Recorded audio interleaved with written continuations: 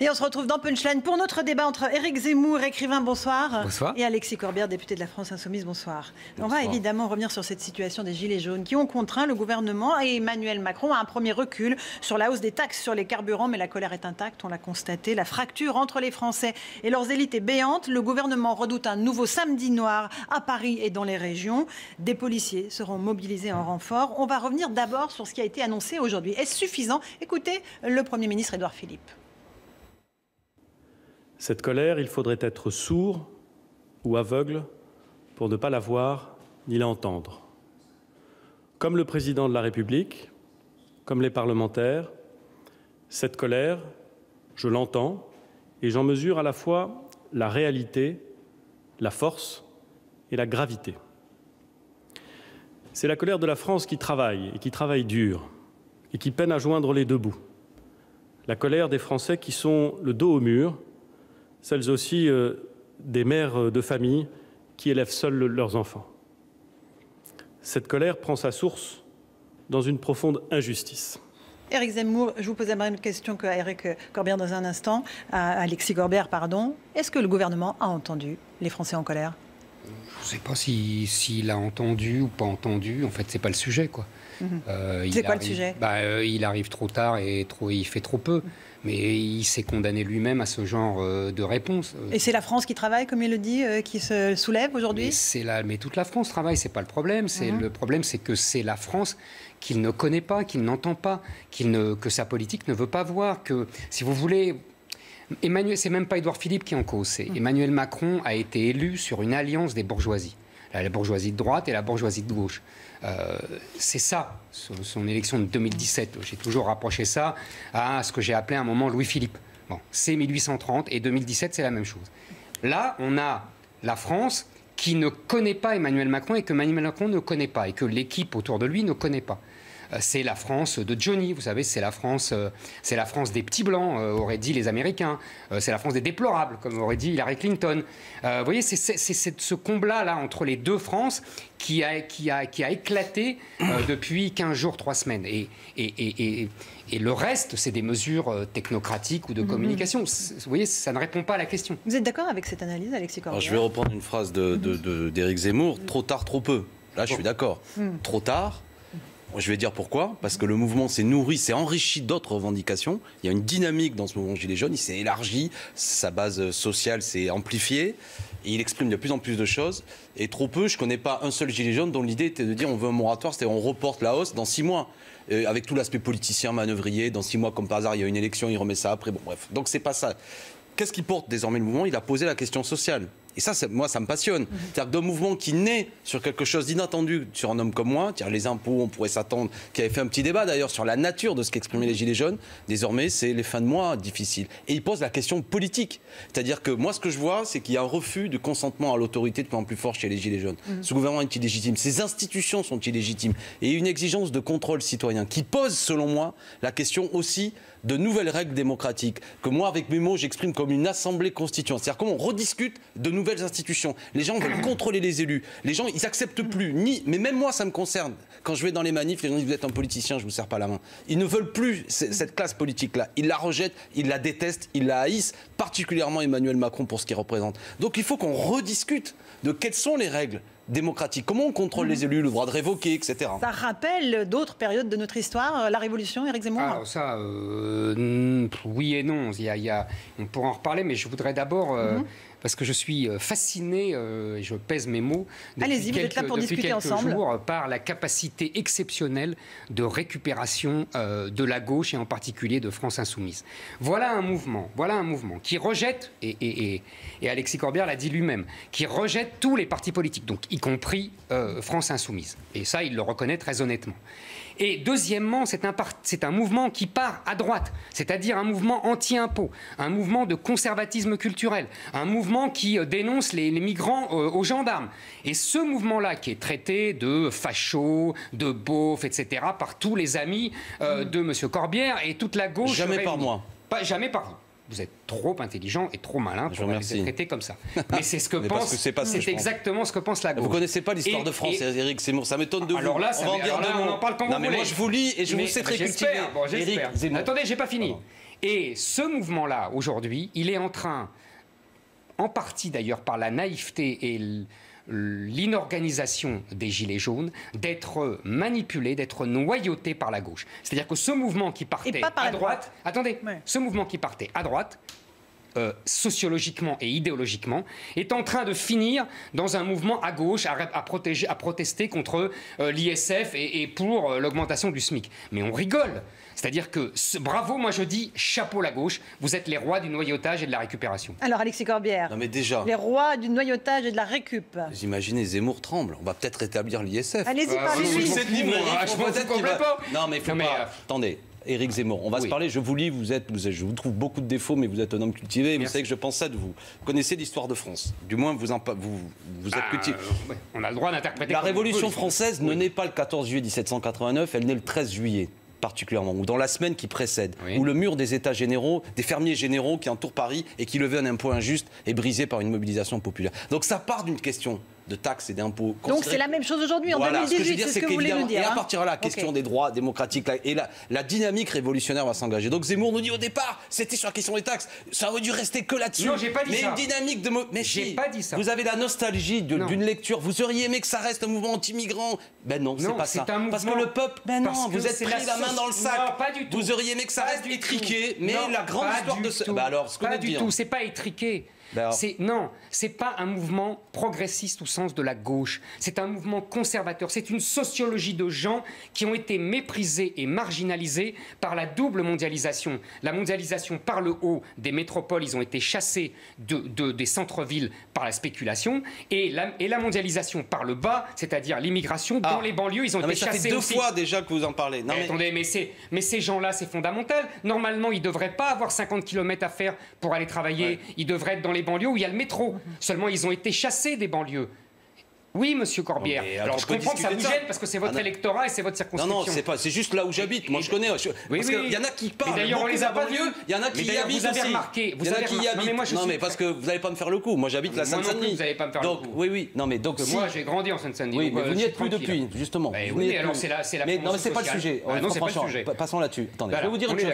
Contrairement, je sais bien que vous voulez plaquer une grille. Non, non, je plaque rien. C'est pas que du jaune la couleur. C'est vous qui noyotez et qui, et qui non, mais moi je noyote rien. Si, si, si, si, la gauche noyote et manipule. J'observe que quand le peuple se met en mouvement rapidement, il pose la... et à partir des questions fiscales qui est une permanence de l'histoire quelque part, dans l'histoire de notre pays, il y a deux questions qui lèvent le peuple, la question nationale et la question fiscale, c'est une permanence de l'histoire, mais de cette dynamique revient la question sociale. Et c'est ça qui m'intéresse. Le partage des attends, je termine. Bah le partage des richesses, y compris la question de l'ISF, c'est-à-dire que les gens ont besoin de, choses symboliques, mais pas seulement pour dire. pas dans les premières revendications, Alexis Corbière. Pardon ce n'était pas dans les premières revendications. C'est arrivé. C'est pour ça, Laurence Ferry, que je prenais la référence à 1789. On apprend à nos gamins, et on a bien raison, on retient la date de la Bastille. Mais ça n'est pas qu'une question pour une forteresse qui emprisonne, c'est pas que la question de la liberté, c'est la question de la justice fiscale qui amène après la déclaration des droits de l'homme et, la question de la République par la suite. Les mouvements révolutionnaires ont toujours une dynamique. Donc vous pouvez avoir des émours qui nous auraient dit, mais attendez, 1789, c'est qu'un problème d'impôt, manque de bol, les 100 culottes s'en mêlent, et à la fin, alors les 100 culottes s'en mêlent, allez-y, Eric Zemmour. D'ailleurs, si on veut filer la métaphore avec 1789, on peut très bien expliquer qu'il y a aussi un noyautage et une récupération par la gauche. Euh, qui, mais bien sûr, le peuple ne veut pas de la mort du roi, mon cher. Ah oui, c'est Bah oui, excusez-moi. Et le peuple est contre la mort Restons du roi. Restons en 2018, si vous voulez bien. Non, mais c'est pour vous dire. C'est parce que si. Non, mais il a un sondage, c'est un sondage IFOP de l'époque. Vous avez l'IFOP de l'époque qui vous l'a dit. Oui, mais c'est évident. Ça, c'est Zemmour plus fort que tout le monde. évident. Et ce que je veux dire, ce que je veux dire simplement, quand je parle de sociologie, parce que moi, euh, je suis plus marxiste que Corbière, je crois que c'est la sociologie qui parle. Et la sociologie des Gilets jaunes n'est pas une sociologie de gauche, contrairement à ce Ça ne veut rien dire, c'est le peuple. je vais... Eh ben oui, le peuple. Mais, le peuple, le peuple, je vous rassure, mon cher, vous ne vous dites pas toujours ça. Quand, quand, quand vous êtes à Montreuil, vous dites le peuple, c'est les gens de Montreuil. Et quand vous les voyez, les gilets jaunes, vous dites ça, c'est le peuple. Mais c'est pas le même peuple. C'est pas le même peuple. Et d'ailleurs, on ne voit pas beaucoup de vos électeurs dans les manifestations de gilets jaunes. Ça, je veux dire en, mot, en, en, revanche, en revanche, on en voit beaucoup. On, en voit beaucoup des gens qui viennent de banlieue, mais uniquement parmi les casseurs. Voilà. Donc euh, ça, c'est vraiment la preuve. Ben, on, va pas, Alors, votre réponse, Alexis pendant longtemps. C'est vraiment la preuve, et ça n'est presque dommage. Et comme quelque part, je veux pas avoir de mépris pour vous, on pourrait y aller ensemble dans ces manifs. Et vous verrez que ce que vous dites n'est pas vrai. Bah voyons. Ça n'est pas vrai. Ça n'est pas la réalité. Non, mais les gens qui manifestent sont des gens, je vais utiliser un terme, de toutes les couleurs. Bah, c'est le peuple justement. Une image, et, cette idée que c'est que les petits blancs qui sont dans la rue. Oui. Eh bien, totalement. Éric Zemmour. C'est la France de Johnny qui est dans la rue. Éric Zemmour. Je voudrais que vous regardiez cette image, l'Arc de Triomphe, ce hein. samedi, avec les gilets jaunes autour de la tombe du soldat inconnu. Regardez cette séquence.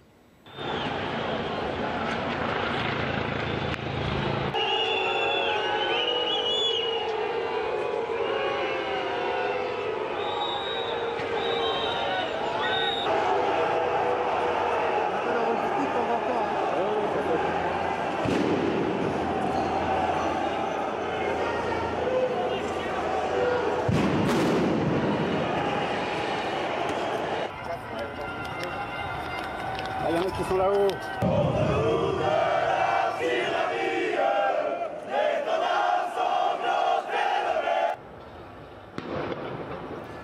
alors Éric Zemmour, Alexis Corbière, cette image, elle dit quoi en fait ah, Elle dit exactement ce que j'ai dit, c'est-à-dire des gilets jaunes qui protègent la flamme du soldat inconnu, qui chantent la Marseillaise.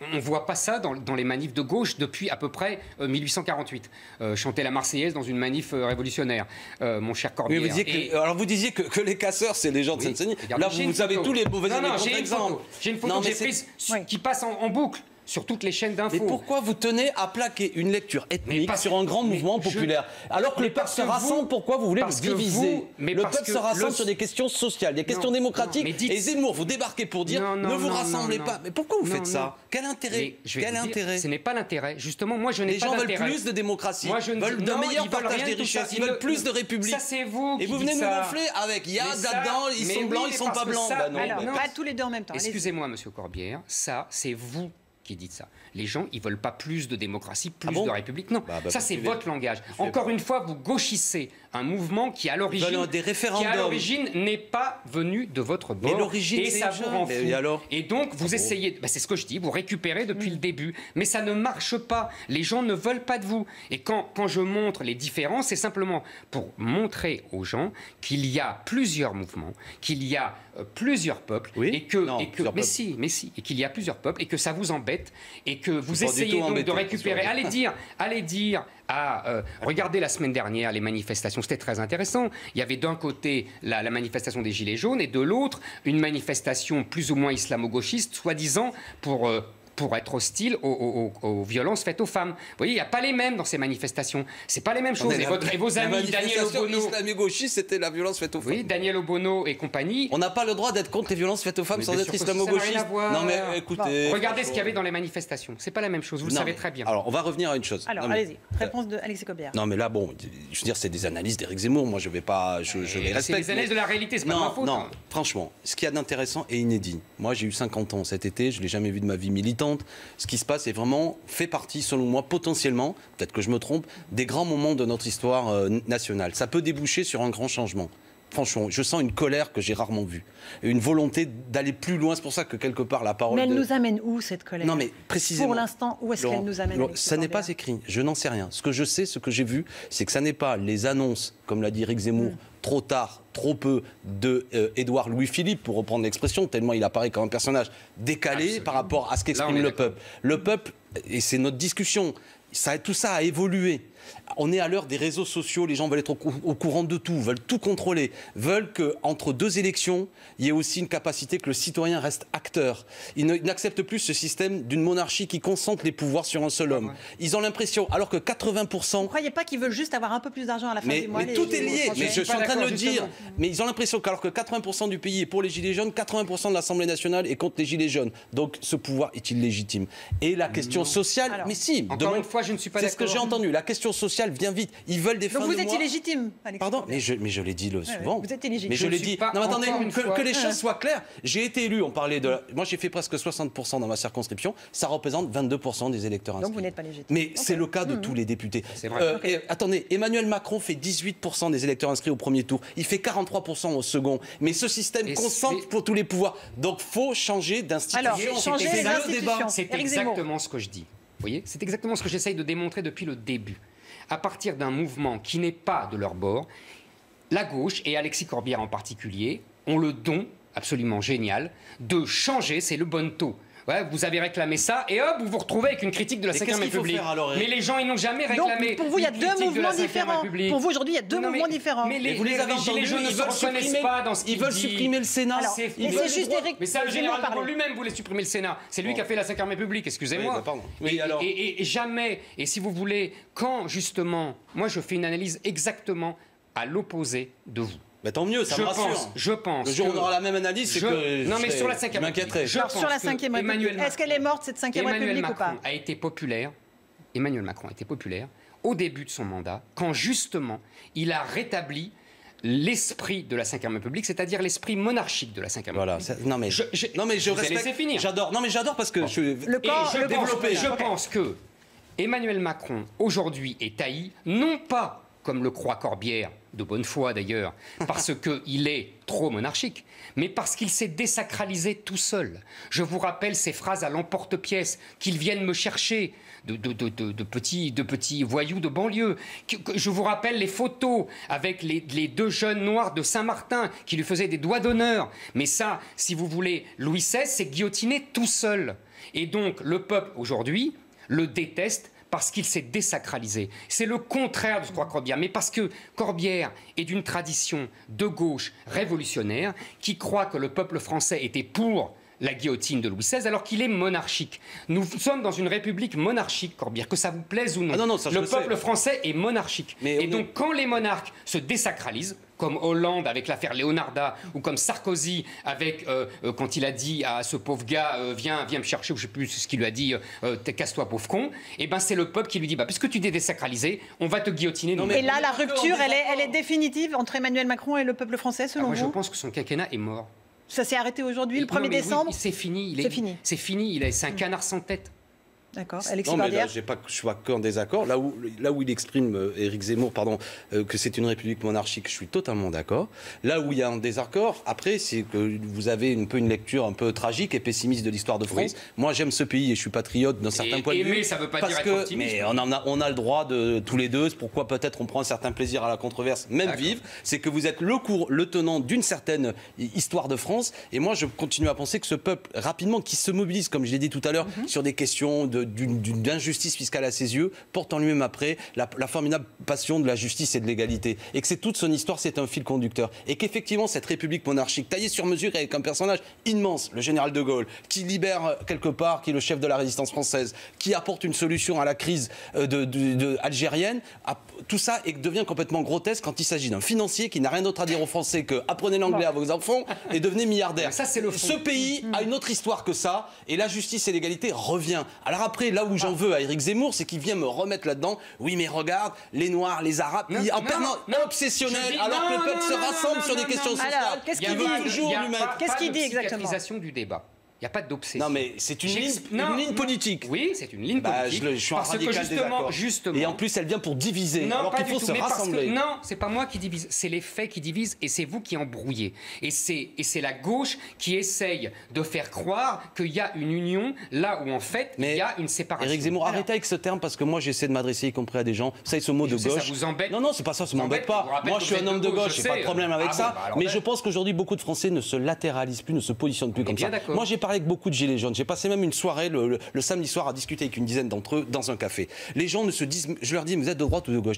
On ne sait pas. Certains avaient voté Le Pen. On a discuté longtemps et c'était passionnant. Et ces gens à la fois me disent, ils veulent être apolitiques, mais veulent faire de la politique, veulent contrôler les élus. Veulent... Bon, moi je vois des gens qui aujourd'hui veulent retrouver leur dignité civique, qui veulent être des citoyens acteurs, pas des citoyens enfants en culotte courte, pas des gens qui sont comme le veut Zemmour, le monarque est là et on veut la personne sacrée du roi. Ça c'est du baratin. Non mais c'est votre nostalgie des grands hommes. Je sais, vous êtes un passionné de Napoléon Ier, c'est votre droit. Oui, moi, je mais d'accord. Elle est toujours là, cette France Mais je crois pas. Moi, je, moi, je suis, de, je suis essentialiste. Vous savez, comme le général de Gaulle disait, la Russie, c'est la Russie alors qu'il y avait l'URSS. Eh bien, la France, c'est la France. Elle ne change pas comme ça.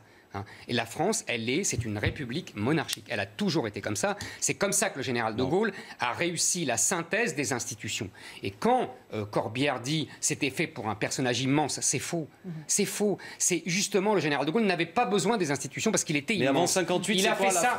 il a fait ça justement pour laisser aux ses successeurs qui n'avaient pas sa légitimité, une certaine légitimité, celle du suffrage universel. Je vous rappelle que Macron a tous les défauts. Mais la troisième République a duré plus longtemps que la cinquième, tout ça. C'est pas fini encore l'histoire. Non mais, non mais franchement, là, là vous, vous, vous, tordez les choses. Non, pas du tout. Moi je crois. C'est un désaccord idéologique. Excusez-moi. Ce qui fait sens, c'est pas la continuité, c'est la rupture avec la Révolution française. Mais moi j'aime la France parce que c'est une république. J'aime la France. Bien sûr, après, je, je veux étudier l'histoire de France. Je sais très bien qu'après, l'État, les monarchies qui bâtissent l'État amènent à pouvoir l'événement de la Révolution française soit là. Mais fondamentalement, là où la France rayonne dans le monde, c'est quand elle programme les droits de l'homme et des citoyens. Bah Alors, voilà la différence. Je vais vous dire. Mais c'est un désaccord. Mais oui, mais oui, mais je vous signale que la France a toujours été universaliste et qu'avant c'était simplement le catholicisme et la monarchie. Quand, quand Saint-Louis fait les croisades, il rayonne aussi pour l'époque. Maintenant, oui, mais on a fait la laïcité. Je, suis fier de la laïcité. Mais ça sort du catholicisme, la laïcité, Corbière, enfin. Et quand bien même, et pourquoi pas C'est pas le sujet. Et deuxièmement, moi voilà la différence avec Corbière, c'est très simple. Lui, il a dit j'aime la France quand c'est une république. Moi, j'aime la France tout court quel que soit le régime. Quand c'est une monarchie, quand c'est un et quand c'est Pétain, et quand c'est Vichy. moi, je prends tout. Et quand c'est ça Non, mais moi, je prends tout, même quand c'est Vichy. Je même quand c'est Vichy, vous aimez la France J'aime la France toujours. Après, je peux critiquer. Pas du tout. Parce que la France, elle peut être à Londres quand c'est Vichy. Vous voyez, ça vous fait dire n'importe quoi. Non, mais c'est vous qui dites n'importe quoi. Quoi La police qui arrête des juifs français, vous l'aimez non mais arrêtez de délirer, vous allez plus loin que votre pensée. Vous dites ça n'a pas de sens, la question elle est politique. Vous, surex, vous bah, attendez, vous me faites vous sur, non, vous dites surinterprétez ce que je dis exprès. Bah, ce que vous venez de dire. Non, ce que je dis c'est que je prends tout dans l'histoire de France. C'est pas la même. Mais ça ne veut rien dire. Non, si ça veut tout dire. Non, rien. Mais si ça veut tout dire. Allez-y, terminez. Mais si parce que vous prenez bien le, prenez bien la terreur. Vous voyez? C'est la même chose. C'est une histoire, quand il y a une histoire tragique, on prend toute l'histoire de France. Oui. Et bien sûr. Donc il n'y a pas à choisir dans l'histoire de France. Moi, je ne prends pas, je, je n'aime pas la France uniquement quand c'est une république. J'aime la France parce que c'est la France. Mais non, mais... c'est pas la même chose. C'est tout ce que je répondais. ce que je veux dire, c'est que quand moi, je, me, je peux, on peut prendre appui sur l'histoire de France. Quand j'utilise même, ce qui est un mot peut-être surprenant pour certains, le fait que je suis, je, suis un patriote français, c'est que ma patrie, si elle est républicaine, si c'est une patrie bâtie sur l'égalité entre les citoyens, on peut faire France, y compris avec les immigrés. C'est ça qui énerve Zemmour. C'est qu'à partir de pays, je sais bien que c'est un désaccord. Mais à partir du moment quel que soit celui qui vient ici, quelle que soit sa couleur, quelle que soit sa religion, on dit laïcité, égalité des droits, on peut faire peuple, on peut faire France. Le problème de Zemmour, c'est qu'il nous invente des vieilles choses, des vieilles permanences idéologiques pour dire non, ici, c'est d'abord la France catholique, blanche, et, la France est fermée. Moi, mais oui, c'est le désaccord. C'est le désaccord politique.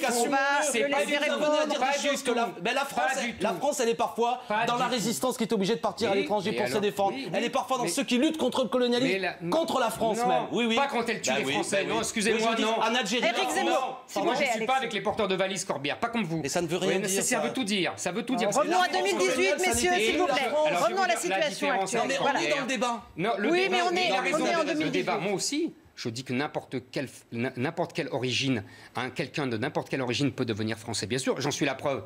Euh, je ne vais pas, je vais pas me, euh, vous aussi. Donc je vais pas me critiquer moi-même. Mais alors Mais alors Mais moi je fais la France avec vous, Zemmour, et avec Laurent Oui, mais on, non, mais on fait pas la France comme ça. C'est pas comme ça. Mais égalité des droits, respect de la loi, Il n'y a pas seulement les droits. Il y a aussi les devoirs, Corbière. Et le premier devoir, c'est le devoir d'assimilation, c'est-à-dire de s'approprier l'histoire de France. Et dans l'histoire de France, les racines de la France, c'est le catholicisme. Ça ne veut pas dire qu'on doit tous être catholiques, je ne le suis pas. Mais ça veut dire qu'il y a une appropriation culturelle, Corbière. Et que si on la refuse, et alors là, on n'est pas français et ça ne marche pas. Mais dans mes banlieues, les gens, ils vont fêter Noël. Vous croyez pas qu'il y a des assimilations culturelles Vous comprenez rien. La France, regardez là. Même les Français qui sont musulmans, ils, bah, mettent le sapin à la bah maison pour certains. Donc euh, la France, on l'année là, on mange tous du couscous.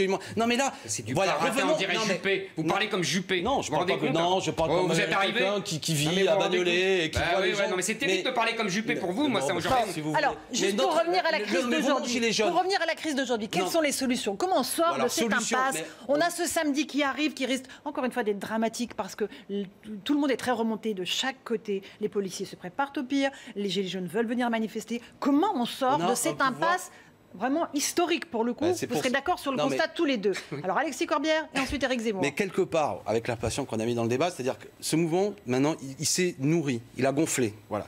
Et il porte en lui ce qu'on a décrit, enfin selon moi, ce qui est non, mais une exigence sociale, une exigence de justice fiscale et aussi une modification, selon moi maintenant, y compris des règles du pouvoir. Ce que j'appelais tout à l'heure. Bon, alors, d'ores et déjà, selon moi, Jean-Luc Mélenchon, il dit au Premier ministre, il dit euh, cédez ou partez. Oui, oui, oui. C'est ça. Déjà, il faut dire, on arrête cette augmentation. Il n'y a pas de moratoire ou de pause aujourd'hui à lâcher de Rugy. C'est maintenant, voilà, une victoire. Cette augmentation n'aura pas lieu. Des mesures de justice fiscale réelles, c'est-à-dire le rétablissement de l'ISF, ça rapporte 4,5 milliards d'euros. Hier, à l'Assemblée nationale, et ça m'a mis en colère. les gilets jaunes. Mais, attendez, mais vous plaisantez ou quoi Qu'est-ce qu'ils demandent les gilets jaunes Qu'est-ce qu'ils demandent les gilets jaunes Ils demandent notamment que les petits salaires, 200 euros le SMIC. Je suis pour cette augmentation. Hier, on a voté avec le CICE, vous savez, ce crédit d'impôt, 40 milliards d'euros gaspillés pour des cadeaux, notamment aux grandes entreprises. Si hier, il n'avait pas adopté. et aux petites entreprises. Oui, mais on peut réfléchir à une fiscalité pour les TPE, PME, ça ne me choque pas. Le problème de ce crédit d'impôt, c'est qu'il donne notamment. Quand je vois qu'un groupe comme Carrefour bénéficie de plusieurs milliers d'euros d'aide, bon, là, on peut augmenter le SMIC de 200 euros. Alors, Hollande, la réponse d'Éric Zemmour. Ah Hollande, il n'a pas touché au SMIC. Non, non, je parlais, de, je parlais de Carrefour. Ah oui, oui, Comment on sort de l'impasse, Éric Zemmour? Le peuple est révolté. Comment on fait? Je trouve ça incroyable. Vous voyez, c'est exactement ce que je dis depuis le début. C'est vous lui dites qu'est-ce comment on sort et il vous dit il faut supprimer l'ISF. c'est fantastique. Vous... J'ai dit augmentation de salaire. Oui. Allez, répondez. Et je, croyais que vous étiez écolo. Je croyais que Mélenchon avait fait sa grande. On dirait de Rugy, là, me faites pas ce coup-là. Bah non, mais excusez-moi, je ne veux pas, pas crédible. Bah non, je suis pas crédible. Moi, je, moi, j'ai jamais fait la mue écologique comme Mélenchon. Qu'est-ce qu'on fait pour sortir de euh, cette impasse? L'histoire de France se termine souvent tragiquement. Absolument, ça, on est bien d'accord au moins là-dessus. Euh, moi, je ne sais pas comment on sort de cette impasse. Je pense que, euh, si vous voulez, je pense que pour l'instant, on n'en sort pas. C'est-à-dire que le pouvoir n'est plus crédible, n'est plus audible, donc que maintenant il court après euh, des chimères, puisqu'il essaye, il essaye de, de, de, de, faire rentrer des gens qui veulent aller dans la rue. Il, il, a une trouille bleue parce que les casseurs se greffent et que ça devient n'importe quoi. On a ces images terribles, encore une fois, de Paris, de l'Arc de Triomphe. Mais bien sûr. L'Arc de Triomphe souillé, qu'est-ce que ça vous dit C'est Moi, ça me, ça me révolte, mais en plus, euh, Corbière s'est moqué de moi pour mon amour pour Napoléon. Donc, l'Arc de Triomphe, pour moi, On va revoir ces images. Non, mais c'est pas méchant. Non, je m'en moque pas. Donc, pour moi, vous imaginez le choc que ça me fait. Donc, moi, c'est affectif, émotionnel, ça, ça, me, ça me révulse. Bon. Euh, donc, euh, si vous voulez, il me semble, et c'est là que ça va devenir très compliqué, c'est que maintenant, je, je, comment vous dire ça? Je pense que ce que propose Corbière est une manipulation, c'est-à-dire que les gens ne veulent pas ce que dit Corbière. Ils ne veulent pas augmenter les salaires, les bon, Et après, et après, on, avance, on avance, allez. Et, euh, et, on a l'impression que c'est une critique d'un régime par, qui, qui, à qui on reprocherait son excès de libéralisme, alors que nous avons l'État-providence le plus lourd euh, du, de, l'Europe. Et ça, Corbien l'oublie tout le temps. C'est-à-dire que je pense que c'est mal réparti, c'est mal organisé. Il faudrait des heures et des heures de discuter. Je ne suis pas là Comment, pour donner des solutions concrètes. Il faudrait rééquilibrer les choses. Je vous dis, je pense que là, il y a euh, une impasse. Vous savez, il y a, des, il y a, des, il y a parfois des moments dans l'histoire où, il n'y a pas de solution à court terme. Je pense que nous y sommes. Mhm. Et, c'est tragique. Oui, donc il y a une catharsis et après, voilà, euh, exactement. il faut un trophée. pas encore fini, il faut, les Gilets jaunes voudront un trophée?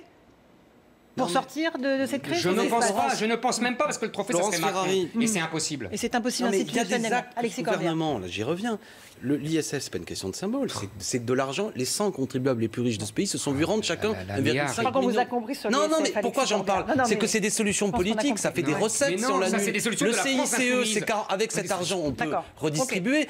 Beaucoup, de gilets jaunes qui se mobilisent, ils vous disent, moi je paye pour des services publics, je n'en vois plus la couleur. Et il faut l'entendre, ça. C'est-à-dire que ce gouvernement a fait des choix. Moi, mon centre d'impôt à Bagnolet, il a fermé il y a six mois, alors que le gouvernement dit qu'il faut rouvrir des services publics dans banlieue, il les ferme. Donc vous avez des gens qui disent mais moi je paye, je ne vois pas la couleur de ce service public, et en plus je vois un gouvernement qui allège les impôts pour certaines catégories de la population, mais qui après baisse les APL, augmente la CSG pour, pour les retraités. Donc ce sentiment d'injustice, il est là, mais je répète, pardon, et je vous allez me trouver insistant, qu'ils se sont carbonisés, pardon de l'expression, et que maintenant l'illégitimité, ce que appelé tout à l'heure, le refus du consentement à l'autorité est posé. Donc tout pouvoir qui viendra, quand bien même ce fut-il un prochain monarque, à partir du moment où il voudra se remettre la tenue du monarque, sera carbonisé au bout de six mois ou un an. C'est là qu'on n'est pas d'accord. Non, mais oui, mais c'est encore heureux bah qu'on soit pas bah d'accord. Bah oui, parce que je l'assume. Non, mais là, vous niez la légitimité du suffrage universel. C'est pas correct. Mais pas du tout. Mais pas du tout. Quand on est je suis pour revenir aux urnes. Mais non, mais attendez, on a dit tout à l'heure Je vous, le mandat, il n'a pas été élu pour un an. À l'Assemblée nationale, l'essentiel des députés sont des gens qui représentent 20 à 30 des électeurs inscrits. 70 mm. des gens ne votent pas pour eux. Même ceux. Bon, donc comment est-ce qu'on met en place le vote blanc, le respect du, vote blanc, par exemple? Est-ce que non, mais c'est des questions fondamentales parce que sinon vous continuerez à avoir des gens qui sont des élus. La, question de la légitimité du président de la République qu'on voit ici, il vient sur place ce dimanche après son retour du G20 en Argentine. Il vient constater les dégâts. Il vient à Nucléaire euh, où il y a eu un certain nombre de saccages. On entend à la fois des huées et des applaudissements. Beaucoup d'huées. Hein. Euh, le président, et on va écouter ce qu'il a dit d'ailleurs, euh, à la fois euh, au G20 et aussi le 27 novembre, quand il a fait le parallèle entre la fin du monde et la fin du mois. Écoutez. J'entends aussi la colère légitime, l'impatience, la souffrance d'une partie du peuple français qui veut plus vite vivre mieux. Et c'est ce que je lui dois. Et c'est pourquoi nous poursuivrons nous maintiendrons avec force et nous irons plus loin et plus fort pour pouvoir permettre au peuple français de vivre mieux le plus rapidement possible. Et je pense qu'on peut faire cela sans céder à la démagogie. je veux faire comprendre aux Français, et notamment à tous ceux qui disent en quelque sorte on entend le président de la République, on entend le gouvernement, ils évoquent la fin du monde, et nous on parle de la fin du mois. C'est que nous allons traiter les deux et que nous devons traiter les deux. Parce qu'en quelque sorte, votre fin du mois difficile aujourd'hui, c'est parce que pendant des années, on a considéré que vous n'étiez pas assez important, en quelque sorte, pour participer à notre réponse collective à la fin du monde. C'est parce que pendant des années, on s'est collectivement dit ou tacitement dit, vous n'êtes pas assez important pour la société, et donc c'est à vous qu'on va faire acheter les voitures les plus polluantes, les logements les moins bien isolés, et vous vous ajusterez. Ce que vous dites, c'est stop, je l'entends. Donc il entend, Éric Zemmour. Il a les mots pour le dire. Il l'exprime. Bah que peut-il faire de plus bah, Il fait comme Corbière, quoi. Il plaque euh, sa, son, sa, grille de lecture. C'est exactement ce qu'on me reprochait Corbière. La sienne, c'est quoi bah, La sienne, c'est il faut continuer la même politique, parce que de toute façon, il est coincé euh, par les contraintes européennes et ses engagements, et la même politique écologique, parce qu'il estime que euh, l'écologie est, un devoir supérieur et que ça doit aller au-dessus des intérêts prosaïques de la population. Donc moi, je le vois pas. Il dit qu'il entend, et en même temps, il dit je continue. C'est une contradiction bizarre. Alors, Alexis Corbière Non, mais moi, je serais président dans ce cas, je dirais, je convoque une assemblée constituante pour définir de nouvelles règles démocratiques. Voilà, mais c'est pas à côté du sujet. Mais... Et à partir de là, vous verrez. Mais quelle est la différence entre réunir les deux assemblées? Allez, pourquoi pas réunir le Sénat et l'Assemblée? C'est de la part. Mais je vous l'ai dit tout à l'heure. Parce qu'aujourd'hui, 80% du pays est pour les Gilets jaunes et 80% de l'Assemblée est contre. Donc il faut repasser devant les urnes. Il faut une solution démocratique et pacifique. Sinon, c'est quoi? C'est une solution autoritaire. Et deuxième. Mais attendez, moi, je suis pas pour la position de. Mais ils ne les demandent pas la dissolution, les Gilets jaunes. Mais, vous n'avez pas écouté ce qu'ils disent. Ah, vous les avez pas entendus Vous n'avez pas vu qu'ils. Ah si, on a les oreilles bien ouvertes. Vous n'avez pas entendu qu'ils demandent de nouvelles élections? Vous n'avez pas entendu qu'ils demandent de nouvelles élections? Ils demandent la démission d'Emmanuel Macron. Oui, et pourquoi faire après? D'accord. Non, non, non, mais vous, y compris moi, premièrement, j'exprime ce que je pense là-dedans, qui est un élément. Quand les gens disent on veut plus de Macron, quand les gens disent on veut de nouvelles élections, quand les gens disent on veut des droits nouveaux, ils expriment ce que je suis en train de dire. Deuxièmement, pour ils parler... veulent la suppression du Sénat. Oui, mais ça fait partie eh ben, qui va décider de ça Si c'est justement les élus mais c'est pas les élus qui vont décider du sort des élus. Vous-même. Bah, évidemment. Mais il faut pas. C'est une évidence. Mais il faut pas. C'est les gilets. Vous pensez que les gilets c'est important cette controverse. Vous pensez que les gilets jaunes font confiance aux élus pour définir de nouvelles règles? Ah non. Bon, alors on en revient à dire la même chose ensemble. Il faut redonner la parole. Ça c'est pacifique. Et pour terminer sur ce que dit Macron, là où c'est un sacré hypocrite en matière d'écologie, c'est que lui il a fait adopter, sans même qu'on puisse en discuter, le traité CETA avec le Canada, qui est un traité de libre échange, qui continue à développer les grands déménagements de la planète, qui écologiquement laisse une empreinte terrible c'est un écolo de pacotille. C'est un écolo qui vit seulement. vous êtes à, non, mais d'accord là-dessus à, culpabiliser les milieux populaires pour dire c'est vous les bofs qui polluez, alors que c'est fondamentalement son libéralisme de libre-échange fou qui pollue la planète. Éric Zemmour. Là, pour une fois, il, il parle d'or. Bon. Comment on sort de là, Encore une fois On taxe jamais les portes-containers, on taxe jamais les avions, on taxe jamais tout ça. Non, mais c'est la vérité. Euh, ça, il faut, il faut dire les choses. Dissolution, vous dites, c'est de la parlotte. oui, mais tout ça, c'est. Encore une fois, il plaque c'est sa grille de lecture. Donc il me reproche ça, mais en fait, c'est ce qu'il fait. Non, il y a, y a, quelque chose qui. Vous pensez que cette chambre est, vécue par les gens comme une représentative de toute façon, euh, non, mais moi, je... dans la Ve République, la Chambre, on s'en fout. Mais il faut en sortir. C'est le président qui est élu. Oui, mais c'est un désaccord entre nous. Vous êtes non, bah oui, c'est un désaccord entre nous. Ne, ne me traitez pas par le mépris tout le temps en disant bon, mais moi je pense. On va dire qu'il y a les maires et le président, dans les élus qui comptent pour les Français. Vous vous dites que c'est Macron qui est à bout de souffle. Je vous dis que c'est la Cinquième République. Allez, on le laisse répondre. C'est un moratoire. En revanche, il y a un problème de fond qu'on n'a pas abordé depuis le début. Il me semble, hein, c'est que, euh, oui, je suis d'accord avec Corbière, il y a 80% des Français qui soutiennent ce mouvement. Mais c'est pas là, je suis d'accord. Mais c'est pas la première fois qu'il y a une grande majorité de Français qui soutient un mouvement. On se souvient en 95, euh, le mouvement La Grève de, contre Juppé. Euh, il y avait d'autres mouvements qui sont soutenus au départ par 80% du pays. En revanche, soyons honnêtes. S'il y avait eu que des manifestations pacifiques et qu'il n'y avait pas eu cette violence inouïe, euh, qui s'est aggravé d'ailleurs de semaine en semaine, je ne suis pas sûr que la crise politique euh, aurait été aussi aiguë et, aussi qu'on en parlerait autant. Ça doit nous interroger quand même sur l'efficacité de la violence. C'est une façon quand même de cautionner les violences qui servent à se faire entendre par le pouvoir. C'est pour ça que je vous dis ça ça, c'est quand même on s'interroge. Je, je, m'interroge moi-même sur l'efficacité de la violence. Et je ne devrais pas m'interroger d'ailleurs parce que dans Mais la question, c'est toujours, c'est violence, la violence. C'est violence minoritaire ou violence de masse. C'est toujours une vieille question. Non, pas du tout. Mais, là, en l'occurrence, c'est violence minoritaire, ultra minoritaire. Oui, mais quelque part, mais qu'est-ce qu'elle dit de masse parce que, parce que je pense, je pense que le gouvernement a joué au malin, c'est-à-dire que Castaner et d'autres ont voulu laisser les violences se développer pour pouvoir salir le mouvement et appeler au fascisme et aux, chemises brunes, etc., et que ça s'est retourné contre lui. C'est-à-dire qu'un malin, malin et demi. Mm. Et maintenant, il se retrouve tout nu. Et maintenant, il dit qu'il y a une volonté de tuer de la part des manifestants. Et oui, évidemment qu'il y a une volonté. Elle dit quoi, encore une fois, de notre. Mais vous savez, euh, là, on sera d'accord avec Corbière, euh, euh, le peuple français, vous voyez, c'est une vieille tradition. et, c'est comme ça. Il, peut tuer le roi qu'il a adoré. Mm-hmm. Et vous avez dit tout à l'heure qu'il ne le voulait pas. Enfin, Non, mais c'est pour ça, justement, Moi, c'est très compliqué. Parce que le peuple français, et dans le travail que j'avais fait pour mon livre dont vous avez parlé, j'ai observé que le peuple français est celui, depuis le Moyen-Âge, qui aime le plus son roi, qui ne le renverse jamais, même quand il devient fou, etc. Et en l'occurrence, il ne voulait pas guillotiner Louis XVI. Mais en même temps, vous voyez, pour faire du Macron, mhm. en même temps, c'est effectivement un peuple qui se, qui se révolte, qui, qui, qui peut aller à la mort des, de, de, de, de, ses dirigeants. C'est un peuple très spécial et en cela, il n'a pas changé. Et donc là, on n'en est pas loin, selon vous, de ce moment de l'histoire de France Oui, parce que dans ce peuple très spécial. Cette violence totale Non, mais dans ce peuple très spécial, là, justement, nous sommes, euh, j'ai plus la liste en tête, on a eu plusieurs types de républiques, on est passé par une république, des monarchies, etc. Non, mais et par beaucoup de massacres je vous en prie, oui, oui c'est des massacres. C'est la République qui massacre. Des massacres. Et, dans le Palatinat, les, armées de Louis XIV ah, qui, ont massacré toute l'Europe. Bon, bref, c'est ça c'est vrai. La, question C'est la République en général qui tire sur le peuple, vous savez. La, euh, question euh, aujourd'hui, c'est vous avez moi, je vais citer un exemple. J'ai discuté avec des gilets jaunes, des gens dorment, hein, on va dire, des gens qui votent traditionnellement plutôt à droite, hmm. mais qui étaient à côté de barricades en train de brûler et qui, quelque part, approuvaient ça alors qu'ils étaient en train de me dire que c'est la première fois de leur vie qu'ils manifestaient. On le voit dans les comparutions immédiates, d'ailleurs. Il y a beaucoup de. Ce que je veux dire. Il n'y a pas, de casseurs professionnels. Hein. Il y a des braves gens aussi. Non, non, non, pardonnez-moi. On ne peut jamais terminer. Hein, allez-y, allez-y. C'est un débat, c'est tout.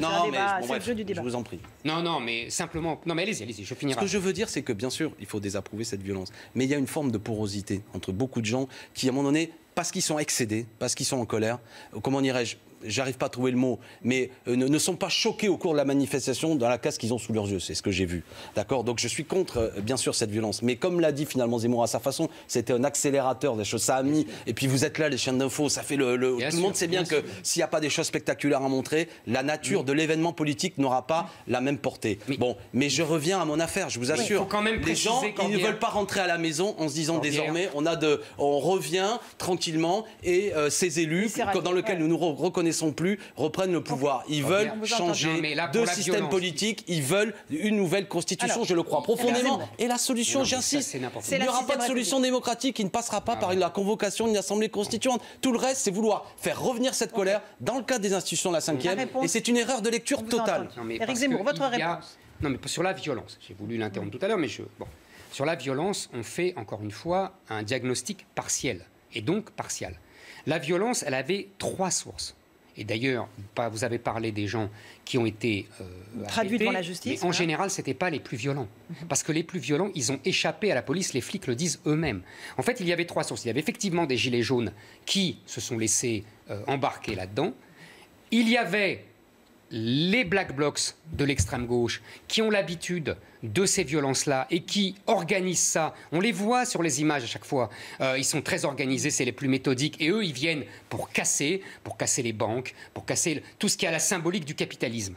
Et il y a on les voit aussi sur les images, les racailles de banlieue qui viennent piller, qui viennent faire leurs courses de Noël. Il y a ces trois mouvements. Ça a été en trois étapes différentes samedi, à trois moments différents de la journée. Ces trois mouvements sont séparés mais vous comprenez, ils se, ils se téléphonent pas. Oh, ils mettent le même gilet jaune. Exactement. mais ils sont séparés. l'histoire de la Révolution française, quand le peuple s'est mobilisé, il y avait les petits artisans, les travailleurs. Vous aviez aussi, euh, comment dirais toute une série de, pauvres qui venaient là pour casser. C'était les casseurs de l'époque. Et puis vous aviez aussi. Mais si, non, mais je veux dire, tout ça, c'était mélangé. C'est pas le sujet. La question, c'est que moi, je vous assure. On n'est pas obligé de, de, vous savez, d'admirer euh, uniformément la Révolution française. Mais bon, ça c'est une chose. Mais moi, non, mais vous savez, Taine disait le peuple, c'est-à-dire l'attroupement de dire il faut, il faut pas oublier quand même il y a peut-être d'autres sources, mais c'est pas le sujet. On va perdre nos, nos, nos, amis qui nous regardent. Moi, ce, que, ce, que ce qui m'a frappé, je veux dire, ce qui m'a, et je vous assure, ça m'a frappé, c'est de voir qu'il y avait cette violence. Moi, j'ai vu des gens, des, une petite secrétaire de direction, 60 ans, qui m'a dit j'ai jamais manifesté de ma vie, mais cette fois je viens, j'ai été gazé la semaine dernière. J'ai dit ça vous fait pas peur? Elle m'a dit non, ça me donne envie de revenir. Et elle me sort de sa poche elle va une petite fiole, vous savez, pour, de, pour nettoyer, pour les lacrymos. Les gens se radicalisent. Mhm. Ils se radicalisent. Donc ça va être pire encore samedi. Eh ben, je que vous me dites moi, je, moi, je pense que ça va pas, ça va pas se démonter. Les gens, en plus, il y a une, forme de première victoire qui est obtenue. Vous savez, je vais vous prendre un exemple. Mai 68. Je crois que c'est le 11 mai 68. Pompidou, il parle. Hein, il commence à céder aux étudiants et, quelques jours après, l'usine Sud Aviation à Nantes se met en grève et le mouvement ouvrier aussi se met en grève. Et la grève devient de plus en plus importante. On a connu dans l'histoire des moments où, soi-disant, une parole est là pour démobiliser et en fait, elle va encore plus dynamiser. Éric Zemmour, le pouvoir cède en partie, le pouvoir est affaibli et donc ça va galvaniser les Gilets jaunes? Oui. Ce qui nous donnera samedi? Je pense. Et je pense que ça peut encore euh, être. On n'est pas prophète, hein, peut-être que je me tromper, hein, mais euh, je pense que ce qu'on a vu encore comme violence, on n'a rien vu parce que maintenant tout le monde va s'agglutiner mhm. et il va, tout le monde a compris que c'était une occasion. Il faut quand même poser la question du maintien de l'ordre dans le pays. Mhm. C'est quand même inimaginable que euh, la police ne puisse rien faire dans ces conditions. Euh, euh, je pense que là, soit, encore une fois, et je, continue à le penser, le ministre de l'Intérieur a donné des consignes exprès de laxisme et ça s'est retourné contre lui, mais il y a quand même aussi un problème de maintien de l'ordre global dans le pays, c'est-à-dire qu'on est tellement tétanisé par la violence. On est, les, policiers ont, tellement d'ordres et de consignes de ne rien faire et de d'éviter euh, le moindre affrontement mmh, mmh, mmh. que du coup, c'est les flics qui ont peur maintenant. Et c'est les flics qui reculent. Les images étaient incroyables va se poser. Alors je sais que Six fois, ils ont reculé et repris l'Arc de Triomphe. C'était une vraie bataille rangée. vous voulez, on, a déjà connu ça lors des émeutes de 2005 dans les banlieues. C'était la même chose. Les consignes du ministre de l'Intérieur, à l'époque, c'était Sarkozy. Euh, ils ont tellement peur du syndrome Malik Oussekine, vous vous souvenez, ce jeune homme qui était mort en 86, que là maintenant, c'est les flics. C'est plutôt bien, non? bah, je, je sais pas. Ah bon? Bah. Non, mais je, sais. Euh, attendez, c'est facile de dire c'est plutôt bien, évidemment. Ils n'ont jamais tiré autant de grenades. personne n'est pour la mort de quiconque. Bon, ben alors, oui. Bah, oui, mais après, il y a. Oui, non, mais, ça c'est. plutôt bien que notre police essaie d'être une police en Europe qui est pas celle qui tape le plus. Oui, mais ça, fait le plus de victimes. C'est de l'humanisme à deux balles faciles sur les ah, plateaux télé. c'est des vies Parce que, ben oui, parce que quand on voit, quand on voit, il faut savoir exactement. Vous savez, c'est le mot de, Paul Valéry. Si l'État est faible, euh, euh, là, si l'État est fort, il nous a servi. S'il est faible, nous périssons. Vous citez Paul Valéry, je vais citer Romain Roland. Quand l'ordre est injuste, le désordre est parfois le début de la justice. Oui, mais ça, c'est bien notre désaccord. Non, non, mais vous je sais choisissez un type de gauche, pacifiste, c'est pas ma tasse de thé. je vous en prie. Mais... vous savez, les policiers, ils sont soumis à rude épreuve. Le gouvernement leur doit 2 millions d'heures supplémentaires non payées. Oh, je crois que euh, c'est plus de 22 millions. C'est 22 millions, 24 millions, c'est pas 2. C'est 24. Vous voyez bien que les syndicats ont été Non, mais ceux qui maltraitent la police, c'est aussi ce gouvernement qui mène des politiques. Regardez Eric Zemmour, là on a les images de GoPro embarquées avec les CRS, encore une fois. C'était ce samedi, c'est à l'Arc de Triomphe. C'est de la guérilla. On est dans des images de guérilla. Bah euh, on ne peut pas trouver d'autres qualificatifs. Et c'est ce qui nous attend samedi.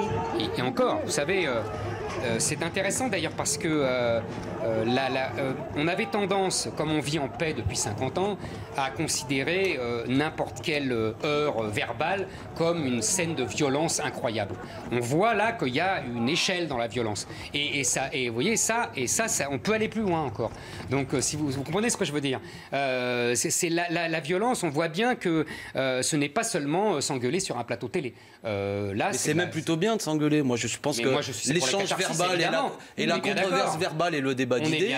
Et c'est plutôt bien. Je veux bah, dire, ce qu'on disait tout à l'heure, comment faire autrement que régler, revenir devant les urnes voilà, et on discute, et le peuple est convoqué. Comment faire autrement D'avoir des débats d'idées Non, mais pour moi, ça, je suis d'accord. Institutionnellement, rien n'oblige Emmanuel Macron ah non, mais ça, je suis à revenir devant le peuple. On est d'accord. Non, mais on est d'accord.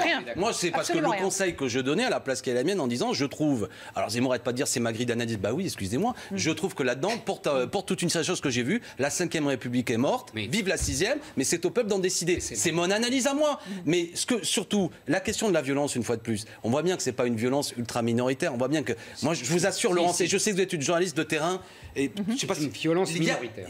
Non, mais mais si, excusez-moi, il y a une colère, voire une même une importée, on aurait dit. Non, mais il y a une colère et une rage partagées par des gens mhm. qui sont des gens, franchement, qui c'est pas, c'est pas mes électeurs de Sainte-Denis pour faire plaisir Zemmour, qui, qui, est là dans cette manifestation, avec une détestation de M. Macron, avec parfois même des choses cruelles sur sa propre épouse que j'ai entendu, qui prend des formes qui me surprennent moi-même. Donc il Mais qui se traduit en détestation des policiers. Regardez encore une fois ces images d'un particulier. C'est une charge contre la police. C'est tragique. Regardez, tragique parce que mais regardez ce à quoi sont confrontés les policiers sur le terrain. Zemmour, comme il est un peu, il a peur, il a raison. Après tout, on peut s'interroger. mais parce que regardez. mais on peut s'interroger de comment ça, se fait. C'est ça ce qui se passe sur Oui, mais on peut s'interroger de comment ça se fait. Est-ce que le gouvernement n'a pas voulu aussi ah des bah. images de violence ah bah et des images Non, mais on peut ah, s'interroger parce que il avait annoncé. Non, mais franchement, c'est incroyable. Il bah avait annoncé que personne mettrait les pieds euh, aux Champs Élysées et l'Arc de Triomphe, qui est un lieu symbolique, euh, bon, il y avait du monde, mais il y avait quand même de quoi dans ce pays. Bon. Et là, on peut se dire, est-ce qu'ils n'ont pas voulu faire les malins hein, que Castaner il joue à Lucky Luke, mais c'est plus euh, Avril Dalton à l'arrivée. Vous y hein. croyez vraiment type... ah ben, oui, oui, pas moi. Regardez la semaine dernière, il y avait quelques gugus de l'œuvre française, un groupuscule à la con. Franchement, on peut les coffrer, c'est le problème. Ils nous ont expliqué que c'était eux qui déferlaient. Monsieur Darmanin a cru malin de dire, c'est pas les gilets jaunes, c'est la peste brune. Mais il est fou. Donc ils ont ah, joué. La peste brune. La peste brune. Qu'est-ce qu'il a dit La peste brune. Oui, pardon. Mais non, mais c'était une tactique et qui est devenue ridicule. Bon, ben quand bien parle comme moi, moi je me tais. La peste brune alors, pourquoi est-ce qu'elle surgit dans le discours de Gérald Darmanin? Mais parce que vous avez compris la technique, c'est-à-dire qu'on veut fasciser des braves gens. C'est la vieille technique, vous savez, c'est toujours la même chose. C'est à chaque fois, c'est des fascistes, euh, c'est des nazis, euh, je connais bien ça. Euh, dès qu'on tient un discours qui Et manque de vol, ils ont le programme de la France insoumise à l'arrivée, voilà, parce que c'est la question sociale qui revient. parce bah, que si, vous, êtes des récupérateurs de génie, c'est pas la même chose, des, noyauteurs de haut vol, de concours, comme dirait euh, Audiard. Euh, voilà ce que vous êtes, mais ça n'a rien à voir. C'est pas pour vous, c'est pas votre électorat. Mais j'en sais rien, c'est pas, si, le sujet, mais si, mais si, c'est le sujet, c'est le sujet. Ah Excusez-moi. non, mais ça c'est plaqué. Allez, un dernier mot tous les deux. un dernier mot, c'est la fin du débat. En plus, si quelqu'un essaie de récupérer ça, il sera balayé.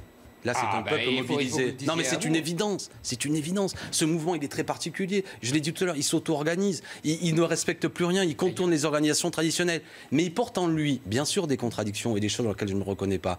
Mais des choses dans lesquelles je me reconnais. Je, l'ai dit, je ne vais pas revenir. Question sociale. Moi, je pense plus de justice fiscale et la question des institutions. C'est ça qui m'intéresse. L'affaire n'est pas réglée. Je ne sais pas comment ça va tourner. Il peut même y avoir un pourrissement tel qu'à la fin, c'est peut-être d'ailleurs une stratégie de Macron. Il laisse pourrir, pourrir, pourrir. Et après, il convoque une élection en disant l'ordre, c'est moi. Et ça, et, ça peut, on peut avoir une solution autoritaire. Un dernier mot d'Éric Zemmour. l'irresponsabilité de ce gouvernement. dernier mot, Éric Zemmour. Je, pense, je pense, il me semble, que euh, justement, le plus grand danger pour ce mouvement, euh, c'est ce que vient de dire Corbière, c'est-à-dire son inorganisation. Et, et le, ça a été sa force, mais ça peut devenir demain sa faiblesse, c'est-à-dire qu'on que euh, on voit bien qu'il peut être retourné, noyauté, déstabilisé, euh, et que c'est vraiment le, grand danger parce que euh, on ne sait pas en vérité. vous voyez, il n'y a pas de chef, il y a pas. C'est très compliqué, contrairement à ce que croit Corbière, la, la, parlotte sans fin, ça mène à des grandes assemblées constituantes, mais après on n'en sort rien. Allez, on se retrouve dans un instant dans Punchline. Merci à tous les deux pour ce débat. Comment éviter un nouveau samedi de chaos? Sera le thème de notre débat dans un instant. À tout de suite sur CNews.